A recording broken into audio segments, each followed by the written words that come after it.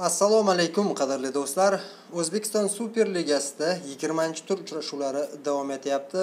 Bugun ikkinchi o'yin kuni va bizni oldinda ajoyib raqobat kutyapti. Oltinchi o'rinda borayotgan va so'nggi turlar ketma ket kerakli ochkolarni qo'lga kiritayotgan navbahor jamoasi tarkib borasida eng tajribali jamoalardan biri qizilqumni o'z maydonida qabul qiladi. Navbahorda so'nggi e, vaqtlar umuman ikkinchi davrada o'yin jihatdan anchagina o'sishni ko'rishimiz mumkin. Navbahor ketma ket e, beshta o'yindan buyon mag'lubiyatga uchramay ularning uchtasida g'alaba qozondi. Yana bir fakt o'tkirbek yusupov so'nggi turlar umuman o'z darvozasidan gol o'tkazib yubormayapti.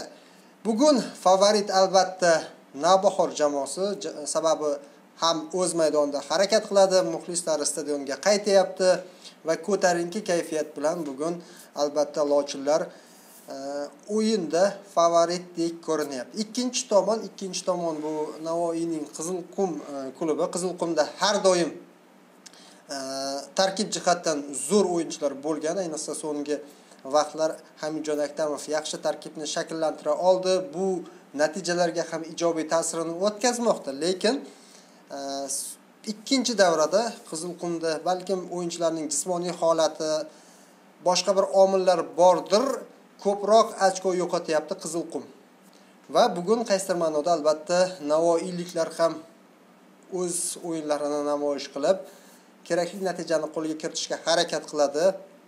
Chunki e, mana shu bosimdan chiqib olish uchun ham jamoaga qimmatli bo'lgan uch ochko safardagi g'alaba kerak bo'ladi. Bu esa muxlislarga chiroyli tomoshabob futbolni taqdim qilishi aniq.